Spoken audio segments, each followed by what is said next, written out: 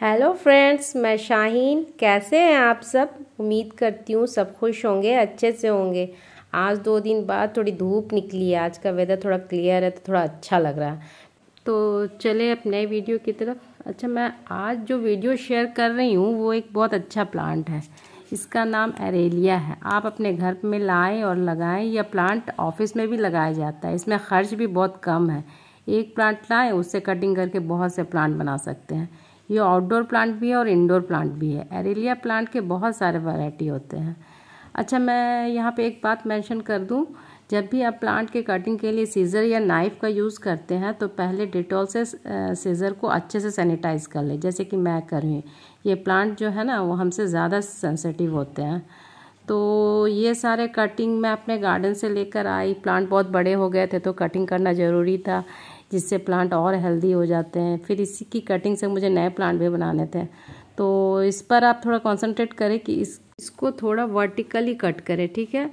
और लेंथ की लेंथ की बात की जाए तो इसका लेंथ सिक्स या सेवन इंच लंबा रखें। और इसकी कटिंग जो लें, वो नॉड एरिया से थोड़ा नीचे लें। और ज़्यादा कटिंग ना, ज़्यादा कटिंग को ज़्यादा लंबा ना लें क्योंकि इससे जड़ें हिल जाती हैं और जड़ें अच्छे से नहीं होती। इसलिए ऊपर का लीफ ये ऊपर का लीफ भी हटाया जाता है, ताकि जड़ की ग्रोथ अच्छे से हो। यहाँ पे मैं किस तरह से वर्टिकली कट कर रही हूँ? बस इसी तरह से आपको नॉड एरिया के नीचे से वर्टिकली कट करना है। बस यही करना है। और अगर इसकी सीज़न की बात की जाए कि कटिंग किस सीज़न में बेस्ट होता है तो ये रेनी सीज़न में बेस्ट होता है। और इस मंथ भी अच्छा से, अच्छे से लग जाएगा। फेबरी मार्च भी कटिंग का बेस्ट सीज़न होता है और अच्छा रिज़ल्ट मिल जाएगा। और कटिंग में रूटिंग हार्मोन आपके पास है तो यूज़ करें, नहीं तो एलोवेरा यूज़ करें, जैसे कि मैं यूज़ करती हूँ। देखिए, इसी तरह से कटिंग करना है और ऊपर का सारा लीफ जो आपके पास है, वो सारा हटा दीजिएगा।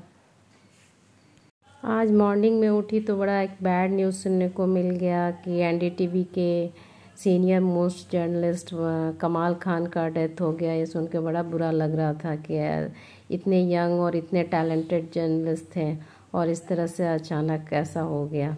सुन के बड़ा अजीब सा लग रहा था कि ऐसे कैसे हो गया। पता नहीं कब क्या आजकल कैसे क्यों हो रहा है, इस तरह से अचानक से किसी का भी कुछ भी सुनने को मिल जा रहा है। चले, क्या कर सकते हैं?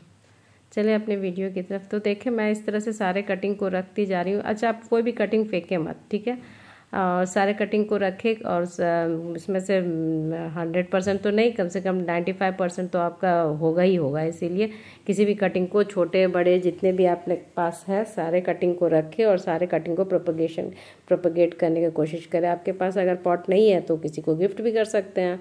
इसलिए मैं तो जब भी लाती हूँ तो सारे कटिंग को प्रोपोगेट करने की कोशिश करती हूँ। तो यहाँ मैंने सारे को रख दिया। अब हम लोग इसको क्या करेंगे? तीन वे में प्रोपोगेशन करें। एक सैंड एक सॉयल और एक वाटर तीन तरह से हम लोग को इसमें प्रोपोगेशन करना है। तो चले नेक्स्ट स्टेप की तरफ़। पहले मैं ये सारा ताम जाम टेबल शेबल सब हटा लूँ। ई मेरा ट्राईपोर्ट किधर गया? चल इधर आ जा। आ गया। चले अब आगे बताती हूँ क्या करना है। ये देखिए मैंने ये सैंड लिया है, ठीक है? सैंड को पहले मैं अपना ट्राईपोर्ट तो ठीक कर लूँ। ठीक है? चले तो फिर ये सैंड को क्या करना है? पहले इसमें थोड़ा सा पानी डालना है। और अपने पहले हाथ से अच्छे से ऐसे ऐसे करके मिला लें, फिर इसमें थोड़ा पानी का स्प्रे करें। और हाथ से थोड़ा दबा लें। मतलब अंदर में एयर नहीं रहना चाहिए। एयर रहने से स्टेम अच्छे से नहीं बैठेगा। इसीलिए जैसे मैं हाथ की मदद से इसको बैठा रही हूँ, वैसे ही आप हाथ की मदद से बैठा लें। और पेन या कोई और इक्विपमेंट है, ऐसे हल्का हल्का आप होल्ड कर लें। ताकि हम स्टेम को इसमें प्रोपगेट कर सकें। ठीक है? इसी तरह से आप करें। तो ये ये वाला मैं सैंड का कर रही हूँ। बगल में बॉटल जो रखी हूँ, उसको वाटर में वाटर में प्रोपोगेशन करूँगी और एक करना है हमें सॉयल में। तो इसी तरह से सारे स्टेम में आप एलोवेरा का जेल लगा लें और इसको सैंड में इंसर्ट करते जाएँ। तो देखें, इसी तरह से आप लीफ ऊपर का हटा के और इसी तरह से आप सारे स्टेम को जितना भी आपके पास है, सारे को सैंड में डालते जाए, एलोवेरा का जल लगा के। इस तरह से देखिए, इसी तरह से करना है और कुछ तो ख़ास नहीं है इसमें। जैसे, बाकी बचे हुए जो स्टेम है, उसको जो छोटा छोटा है, उसको मैं अब वाटर में प्रोपोगेट कर दूँगी।